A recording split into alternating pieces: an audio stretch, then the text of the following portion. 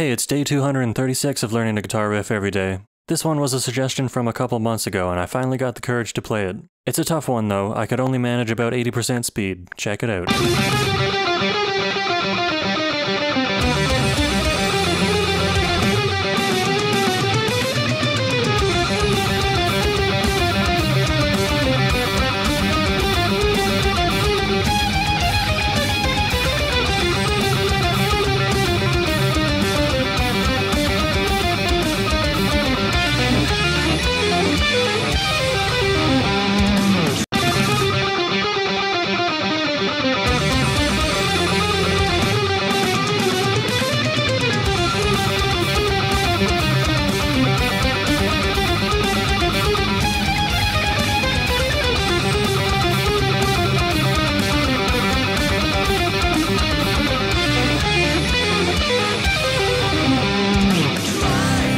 Thanks for watching. See you tomorrow.